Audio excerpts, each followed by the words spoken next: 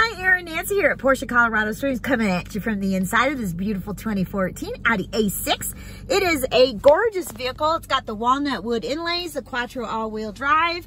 Um, you do have a retractable MMI screen. Really nice on the A6 because now the new ones that it just sticks there and you can't retract it and I know that some people are annoyed by that. You do have your HomeLink garage door opening system. You do have a nice sunroof right here that tilts open. Beautiful gray headliner, nice and clean. I don't see any damage to it. It looks really nice, no dirt or anything. 69,340 miles on the odometer.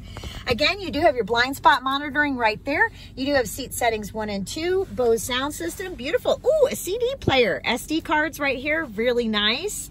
Um, you do have navigation, Bluetooth, all that good stuff.